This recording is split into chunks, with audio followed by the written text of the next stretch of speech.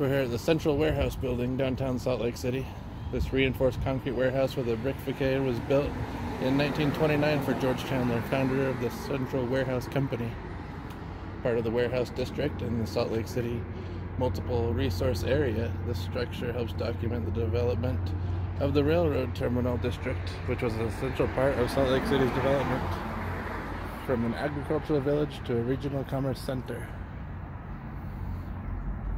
It's not doing really well right now, vandalized and falling apart.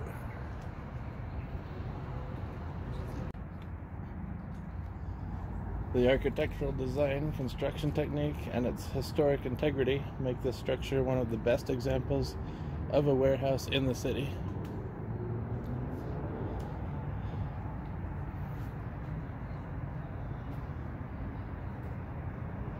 I love the tile over here around the entryway.